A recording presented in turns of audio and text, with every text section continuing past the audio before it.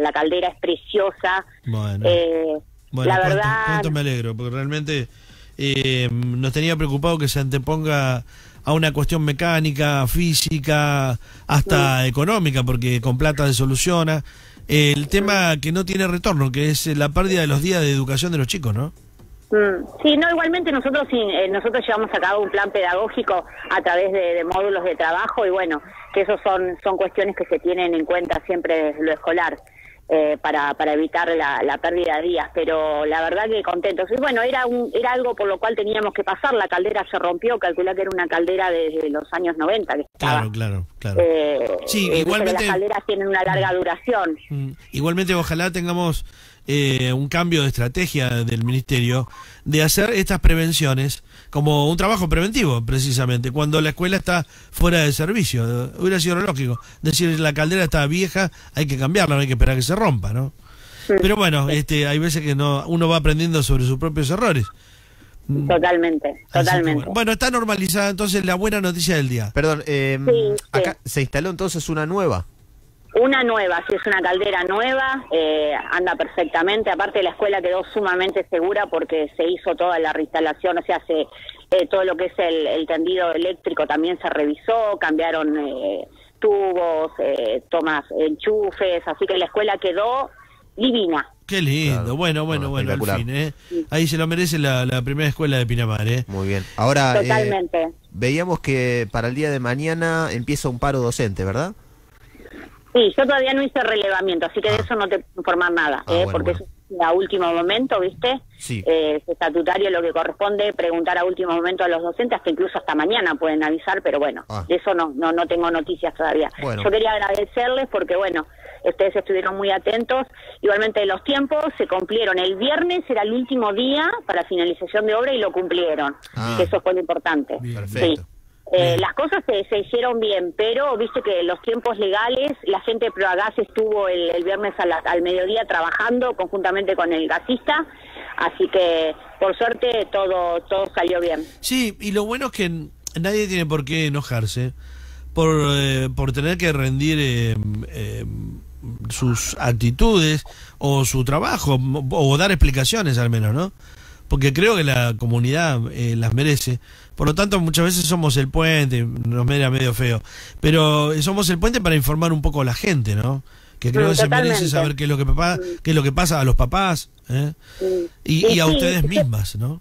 Sí, yo estaba muy comunicada con los papás porque, eh, digamos que inventé un sistema de comunicación, tenía a los 24 papás referentes de cada salón en un grupo de WhatsApp y yo les iba pasando toda la información de cómo, cómo iba la obra, si teníamos que suspender una semana más, dónde se entregaban los módulos, los papás Mirá se bueno comunicaban eso, ¿no? conmigo.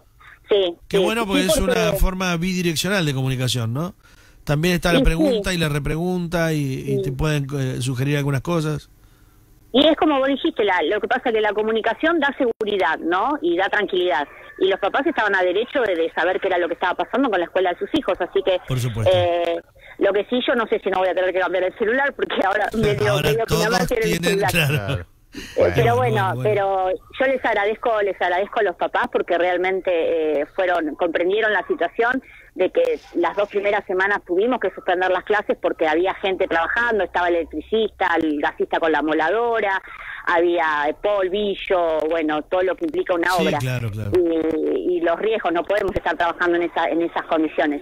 Así que bueno, eh, la verdad, el viernes eh, estábamos muy contentas todas las maestras porque fue muy difícil, no es fácil sostener un, un- una suspensión de clases, es muy complejo porque aparte más allá del, del plan de contingencia, no uno sabe lo que genera en la familia el hecho de que el nene no pueda venir, los chicos no puedan venir a la escuela. Claro, De hecho, nosotros somos parte de esto también. Entonces, bueno, a veces uno quiere que las cosas salgan más rápido de lo que deben ser, pero bueno, hay tiempos legales, tiempos administrativos en cuanto a la licitación y el tema de- del gas, que bueno, es inevitable. Bueno, eh, Karina, gracias por atendernos ahí en tu casa, ¿eh? No, muchas gracias a ustedes, ¿eh? Y acá a su compañero que, que él venía y, y Oscar Sí. estuvo presente Ah, siempre. Oscar, si algo Muy tiene bien. que es insistente, así que él va, ¿viste? Sí. Bueno, gracias por todo y vamos a, en algún otro momento, vamos a ir a hacer un paseíto eh, virtual con la cámara para mostrar eh, cómo está hoy la escuela, ¿no? Bueno, cuando quieran. Bárbaro, bárbaro. Adiós, gracias. Chao, buen día. Bueno, ahí estábamos con la llegada directora de la Escuela 1, Oscar, que gentilmente nos atendió. Y nos vamos, cerramos con esta buena noticia, porque realmente eh, al fin uno puede arrancar la mañana con buena noticia. Esta es una buena noticia. Sí, la buena. Bueno, hoy, hoy vamos a seguir con buenas noticias, Epa. seguramente. Epa, Bueno. ¿O no? ¿Para dónde vas? No sé, depende de dónde vayas. norte, sur, este, oeste. Y trato de imaginarme. No, lo, ¿Sí? lo- lo que pasa es que esto ¿eh? es todo relativo porque mañana no hay clase, mañana hay paro docente y, ¿Cómo todo y son tres días. Entonces la buena noticia, hoy arrancan las clases normal y ya mañana hay paro. es complicado, es complicado. Bueno, pero... Veamos el hoy, Oski. Carlos tiene mal en media semana, ¿no? Veamos el hoy. ¿eh? Bien. Nos vemos. Bueno, Oscar, gracias. Adiós. Bueno, ahí estamos con el, con el móvil. No, se despidió, ¿viste? Se- se- está bien. Cerralo, cerralo. Ahí está. Móvil Power. Power. En vivo. Nuestro móvil viaja seguro con Sancor Seguros. Bueno, ahí estamos, desde la escuela primaria 1.